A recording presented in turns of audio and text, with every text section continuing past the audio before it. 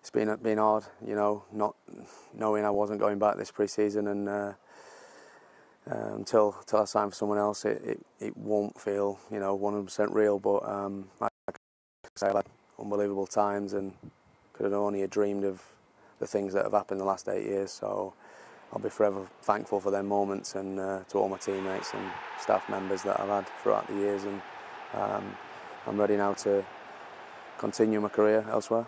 Do you still think you could have done a job for Sheffield United in the Premier League?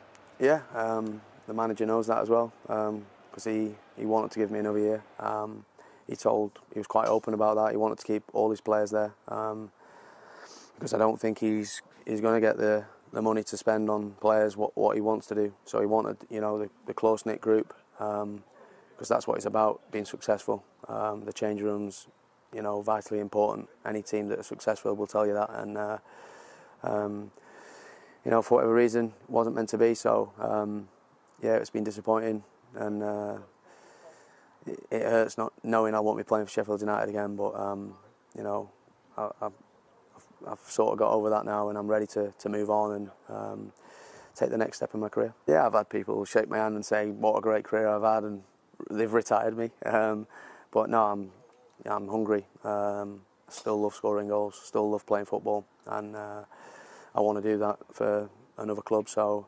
um, yeah, I've spoken to a lot of clubs over the summer. Um, some things haven't been quite right, but some things uh, do do interest me. So you know, hopefully in the next couple of weeks I'll uh, I'll be sorted and everyone will know what I'm doing.